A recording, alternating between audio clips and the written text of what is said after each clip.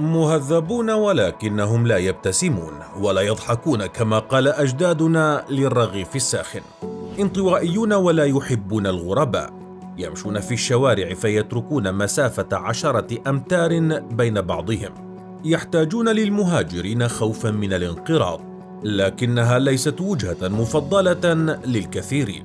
هي واحدة من أقل الدول الأوروبية شهرة وأكثرها خضرة تشكل الغابات أكثر من نصف مساحتها وحوالي 20% من مساحتها تعتبر محمية طبيعية.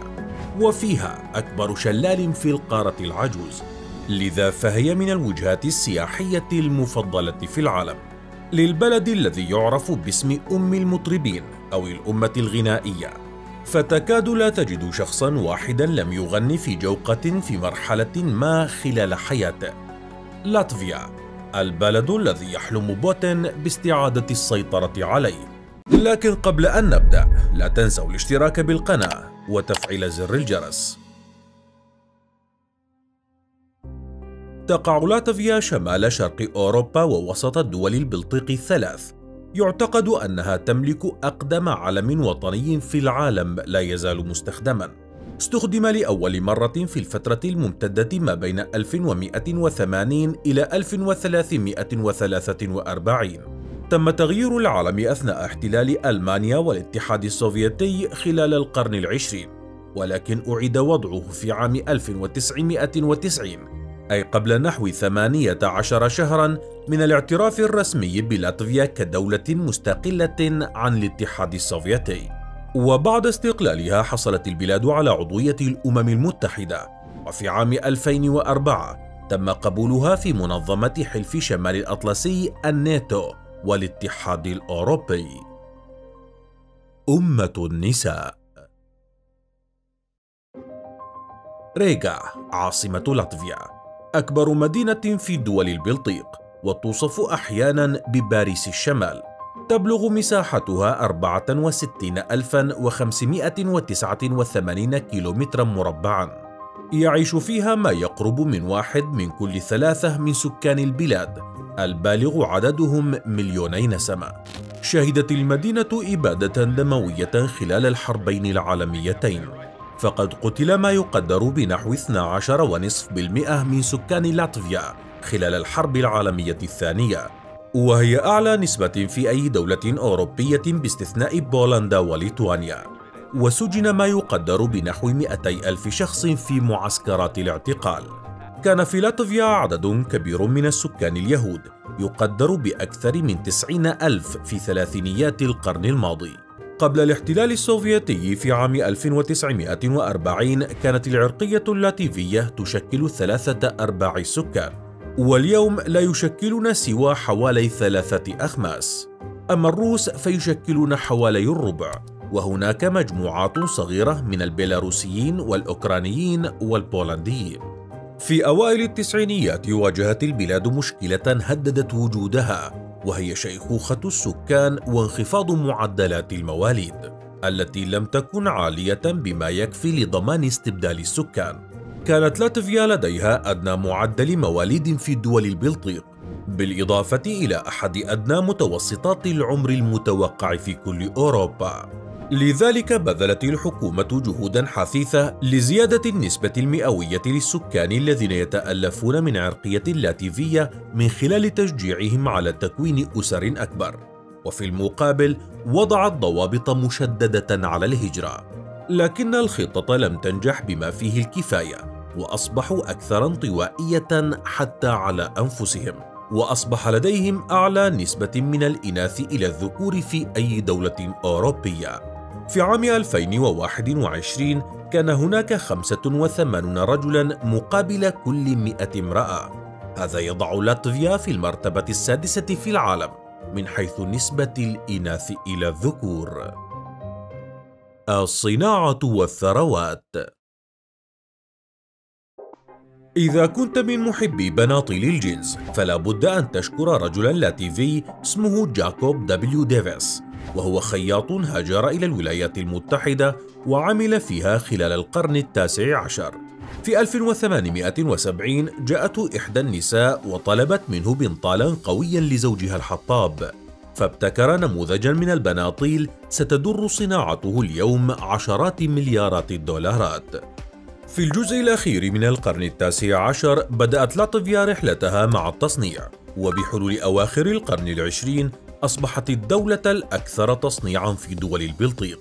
حدثت تغيرات اقتصادية كبيرة بعد استقلال لاتفيا في عام 1991 مثل الانتقال إلى اقتصاد السوق الحر بالإضافة إلى خصخصة معظم الصناعات. حل إنتاج الأثاث والمواد الغذائية والمشروبات والمنسوجات محل بناء الآلات وهندسة المعادن كأنشطة التصنيع الرائدة. وأصبح تصنيع المواد الكيميائية والمستحضرات الصيدلانية مهما في القرن الحادي والعشرين. وتمتلك البلاد مجموعة متنوعة من الثروات الباطنية مثل الرمل والدولوميت والحجر الجيري والجبس والطين والجفت. ولديها كميات ضئيلة من النفط. تعتمد البلاد اعتمادا شبه كامل على مصادر الطاقة المستوردة. يتم توفير الطاقة الكهربائية بشكل أساسي من إستونيا وليتوانيا ويتم توفير المنتجات البترولية من قبل روسيا وليتوانيا. أما بالنسبة للزراعة فلا تستخدم لاتفيا سوى ثلث أراضيها لزراعة المحاصيل. وحوالي عشرها مخصص لرعاية الماشية. كانت لاتفيا مستوردا صافيا للمنتجات الزراعية. بعد انفصالها عن الاتحاد السوفيتي قامت بخصخصة الزراعة على أمل رفع مستويات الإنتاج. لكن نتيجة للصعوبات الاقتصادية للتكيف مع اقتصاد السوق وارتفاع تكلفة المعدات المطلوبة. لم تساهم الزراعة سوى بنسبة صغيرة فقط من الناتج المحلي الإجمالي. بلد السياحة والغابات حوالي 54% من لاتفيا عبارة عن غابات، مما يجعلها واحدة من أكثر البلدان خضرة في أوروبا. وبالتالي هي موطن لطيور اللقلق الأسود والنسور وثعالب الماء. وفيها تجمعات كبيرة من الغزلان والأيائل والثعالب الحمر. حوالي 20% من مساحة لاتفيا محمية. هناك أربع حدائق وطنية و42 متنزها طبيعيا و260 محمية طبيعية و355 معلما طبيعيا. ونظرا لأن لاتفيا بلد بارد نسبيا فإن الصيف هو أفضل وقت لزيارتها. وتجذب البلاد أيضا عددا كبيرا من السياح في فصل الخريف لمشاهدة المناظر الطبيعية الرائعة للأوراق الصفراء والحمراء. تعتبر البلاد أيضا غنية بالمباني التاريخية والجمال الطبيعي، ومع وجود أكثر من 12 ألف نهر ليس من المستغرب أن تكون الشلالات جزءا هاما من المناظر الطبيعية. أهم تلك الشلالات هو شلال فينتا أو فينتا رابيد أكبر شلال في أوروبا. يبلغ عرض هذا الشلال أكثر من 240 مترا. ومن الأماكن التي يمكنك زيارتها مدينة جورمولا التي تمتلك شاطئا رائعا بطول 32 كيلومتر والذي يستقطب آلاف السياح في فصل الصيف. وتعتبر واحدة من أكثر الوجهات الشعبية للسياحة البحرية. وهناك أيضا مدينة ليباغا التي تتميز بشواطئ فريدة وجمال طبيعي رائع وهياكل تاريخية. وهي مدينة ساحلية خالية من الجليد ولا تتجمد حتى في الشتاء. وبسبب موانئها الخالية من الجليد تطورت التجارة في المدينة وأصبحت مدينة صناعية مهمة منذ الحقبة السوفيتية. وأخيرا هناك مدينة سيغولدا التي تقع على نهر جاوجا. على بعد حوالي ساعة واحدة من ريغا ويشار إليها باسم سويسرا لاتفيا. وإذا كنت من محبي رياضة هوكي الجليد لاتفيا هي المكان المناسب لزيارتها لأنها الرياضة الأكثر شعبية في البلاد. وتأتي كرة السلة كثاني أكثر الرياضات شعبية. أما لو كنت تتساءل عن ثقافة الطعام فالمطبخ اللاتيفي يتشابه إلى حد كبير مع مطابخ دول شمال أوروبا وغالبا تتضمن الأطعمة المفضلة الأسماك واللحوم. ولعل أغرب تجربة قد تعيشها في البلاد وهي في الحقيقة تجذب عددا كبيرا من السياح هي تجربة العيش في السجن العسكري السابق في بلدة كاروستا ويمكن للضيوف اختيار تجربة السجين الكاملة. والتي تتضمن ضباطا يرتدون الزي الرسمي والذين لن يفوتوا الفرصة للإساءة لفظيا إلى المساجين. أمة الطرب وشعبها الانطوائي. تقوم البنية الاجتماعية اللاتيفية على الأسرة فهي النواة الأساسية للحياة. حتى في المناطق الحضرية من الشائع أن تعيش أجيال من الأسرة الممتدة معا في نفس الشقة. ومن غير المألوف الانتقال من المنطقة التي ولدت فيها.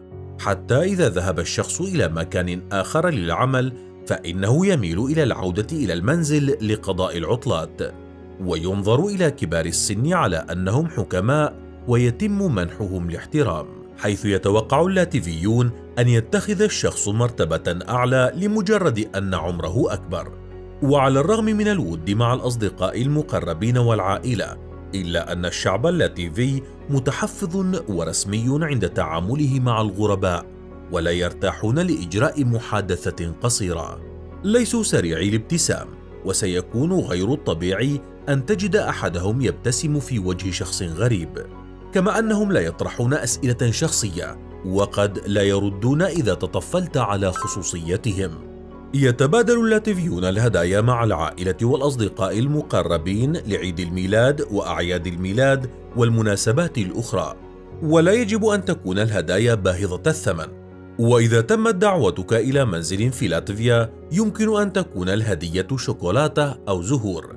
لكن تجنب أن تكون الزهور بأعداد فردية.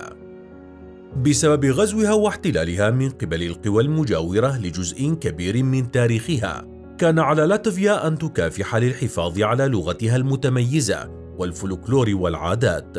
أدى فقدان البلاد لاستقلالها السياسي في القرن الثالث عشر إلى توقف تطور الثقافة اللاتيفية لعدة قرون.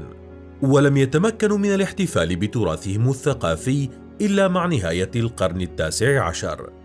اللغة الرسمية هي اللاتيفية ومع ذلك ما يقرب من ثلث السكان يتحدثون الروسية. تضاءل تأثير الدين على السكان بشكل كبير خلال الاحتلال الشيوعي بسبب تعرضهم للمضايقة والتمييز. وبعد سقوط الشيوعية عاد الانتعاش الديني حيث ينتمي غالبية السكان إلى الكنيسة اللوثرية ويعتبر حوالي ربع سكان لاتفيا أنفسهم غير متدينين. ينسب اللاتيفيون أحيانا إلى المذهب الطبيعي أو ما يعرف بالمعتقدات الوثنية. وعلى الرغم من أنه لم يعد يمارس كتدين إلا أن التقليد يعيش في الأغاني والأساطير والمهرجانات الشعبية اللاتيفية. كل بضع سنوات تجتمع جميع جوقات لاتفيا بالإضافة إلى مجموعات الرقص الشعبية معا في مهرجان الأغنية. هناك ثلاث عناصر أساسية لهذه الأغاني الشعبية التقليد والأدب والرمزية. اعترفت اليونسكو بمهرجان لاتفيا للأغاني والرقص باعتباره أكبر مهرجان للأغاني والرقص للهواة في العالم. ويقام هذا الحدث كل خمس سنوات منذ عام 1873 ويستضيف أكثر من أربعين ألف مشارك مع ما يقرب من خمسمائة ألف من الحضور. فهل أعجبتك لاتفيا؟ وهل ترغب بزيارتها؟ أخبرنا عن أكثر معلومة صادمة عرفتها في هذا الفيديو. للمزيد شاهد من هنا بلاد المحرمات والتناقضات روسيا وأوكرانيا من جهة.